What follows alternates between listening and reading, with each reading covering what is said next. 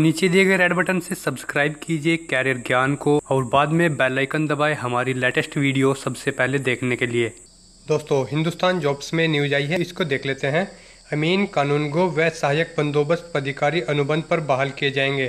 इसमें यह भी दिखाया गया है कि राजस्व विभाग में होगी बारह हज़ार पदों पर बहाली। और आगे इसमें बताया गया है कि इनमें से आठ से दस हज़ार तक अमीन, ग्यारह सौ कानूनगो और छः सौ पचास सहायक बंदोबस्त पदाधिकारी होंगे।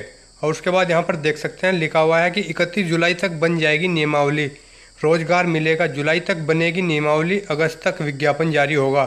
दिसंबर तक होगी बहाली, मार्च में सर्वे का काम करेंगे। 15 अगस्त के पहले सभी प्रखंडों में ऑनलाइन म्यूटेशन का लक्ष्य छत्तीस अंचलों में सर्वे का काम मार्च 2019 तक हो जाएगा पूरा। तो आइए इस पूरी न्यूज़ को पढ़ लेते हैं। दोस्तों, इकतीस जुलाई तक बन जाएगी नियमावली। प्रधान सचिव ब्रजेश मेहरोत्रा ने कहा है कि इकतीस जुलाई तक बहाली की नियमावली बन जाएगी। अगस्त में विज्ञापन और दिसंबर 2018 तक अनुबंध पर बहाली की प्रक्रिया पूरी हो जाएगी। चयनित कर्मियों को मार्च 2019 तक प्रशिक्षण दिलाकर सर्वे में लगा दिया जाएगा। छत्तीस अंचलों में सर्वे का काम मार्च 2019 तक तो राज्य के सभी अंचलों में सर्वे का काम 2021 से 2022 तक कर लिया जाएगा। बैठक में निदेशक जयसिंह व वीरेंद्र कुमार मिश्र, विशेष सचिव प्रवीण कुमार झा सहित अन्य अधिकारी मौजूद थे।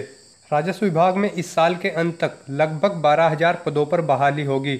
इनमें आठ से दस हज़ार तक अमीन, ग्यारह सौ कानूनगो और छह सौ पचास सहायक बंदोबस्त पदाधिकारी होंगे।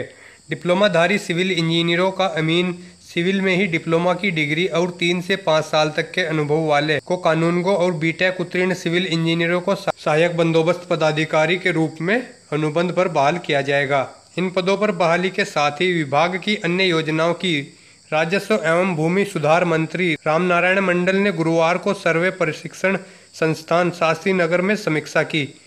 मंत्री ने कहा कि एनडीए सरकार की प्राथमिकता भूमि विवाद को कम करना है, इसके लिए चरणबद्ध तरीके से काम हो रहा है। ऑनलाइन दाखिल खारिज का काम जारी है। भूमि विवाद कम करने के लिए अनुबंध पर बड़े पैमाने पर बहाली की जा रही है। बहाली से सर्वेक्षण का काम निर्धारित समय पर किया जा सकेगा। इन पदों के अलावा विभाग में कनीय व सहायक अभियंता के पदों पर भी बहाली होगी।